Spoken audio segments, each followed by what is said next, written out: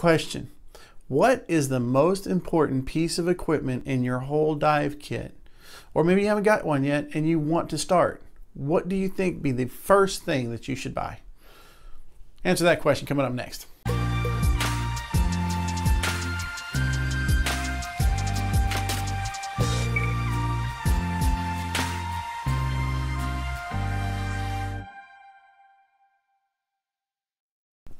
Hey everybody, my name is Chris. This is Just Keep Scuba Diving, scuba diving on a budget, where I try to help you save money and enjoy a sport of scuba diving at the same time. I know it's a concept. Hit the like, hit the subscribe button below, and let's get started, okay? The number one piece of equipment you have in your dive kit, absolutely, positively, without a doubt, Without this right here, you can't see. If you're not comfortable while you're seeing, this gets in your way. It doesn't sit right, doesn't fill in your mask. It's too tight here. It doesn't, it leaks all the time. It fogs all the time. All the things that if you don't get a mask that you like, that's what happens. Number one, I am not being sponsored by anybody to say what I'm about to say. I am not picking one mask over another. The best mask in the world the absolute number one positively best mask in the world. You can quote me on this. And I, I, I, every company will get mad at me. Ready? I'm gonna tell you what the best mask in the world is. Let's do the tried and true first way of fitting a mask. You start off like this, inhale slightly,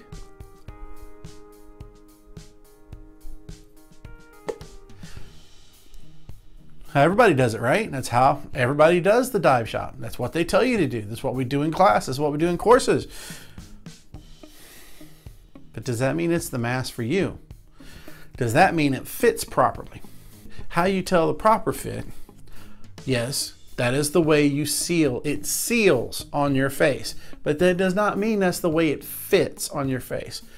What you want to do, like so,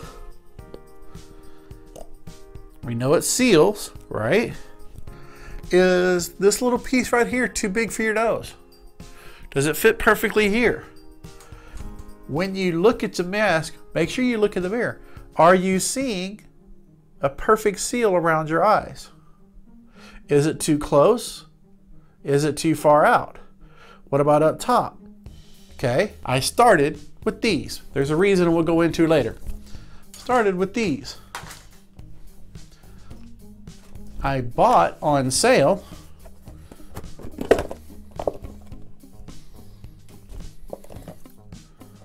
This one. Look what the difference is on the eyes. See how high up it rides? Look at the nose. See, my nose is right here. Notice another one, it was really far out. But look how high up this bass ride. Yeah, technically I'm supposed to be looking down. I can glance up. And that's the way it is listen to the way I'm sounding too. Okay?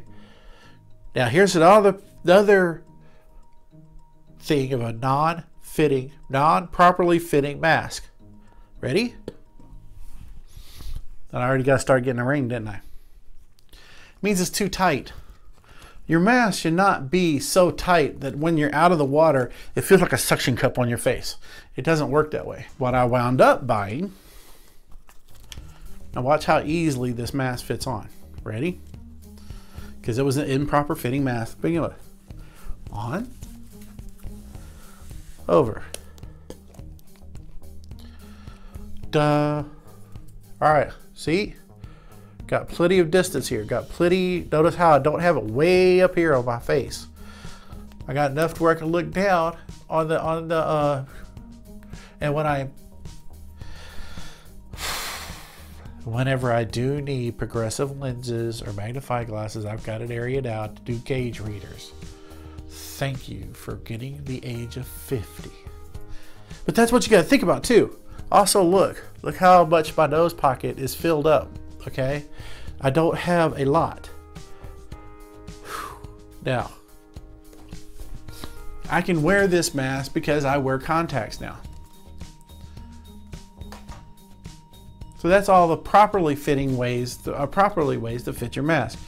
Look, you want to look around the edges to make sure there's no gap right there. You want to also make sure it's not too close to your eye, not too far back. You want to make sure it's right here, not way up here. When you go diving and it's way up here, it's to be, there's to be so much air in there, you'll be like, it's so uncomfortable, trust me. But that also means it fogs up, easier to fog up. You also want the nose pocket to be pretty close to your nose.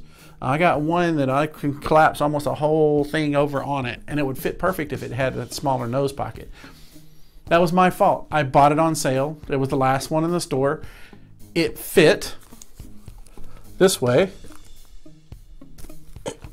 but it didn't fit. And I didn't know the difference until after I jumped in the water. Now, look at the skirts. See them? They're clear. Mine are clear. Tammy's skirts are not. Well, the skirts are very interesting for, I heard it's told like this. Do you watch TV with the lights off? Or do you, are you okay with the lights on?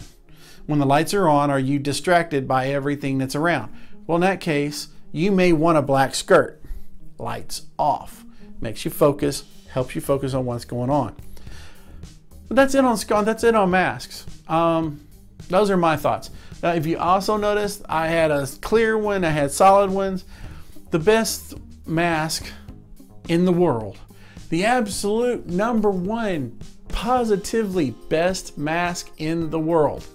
You can quote me on this. And I, I, I every company will get mad at me. Ready? I'm to tell you what the best mask in the world is. Here it is. Big reveal. The one you like. They're all great masks. Aqualung, Scubapro, Scuba Max, Cressi. They're all great masks. Clear lenses, green glass, glass. They're all great masks. They're all going to that skirt. They're all going to the bands. They're all doing the slides. The best mask in the world, the one you like. Just keep scuba diving. Scuba diving on a budget. Chris, hit the like, hit the subscribe button. See you on the boat.